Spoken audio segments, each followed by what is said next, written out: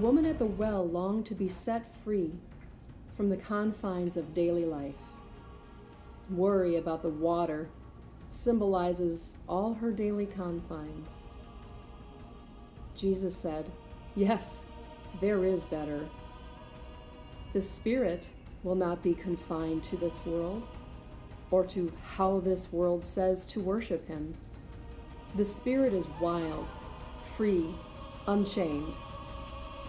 And so must you be to serve me, free, totally surrendered, uninhibited, radical in your love for me, and hence radical in your love of others.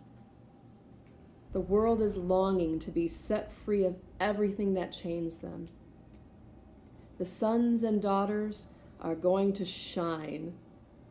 Those who serve the Father will have their day in the spotlight as they radically love. This is the final harvest of the world. Will people be loved into the kingdom?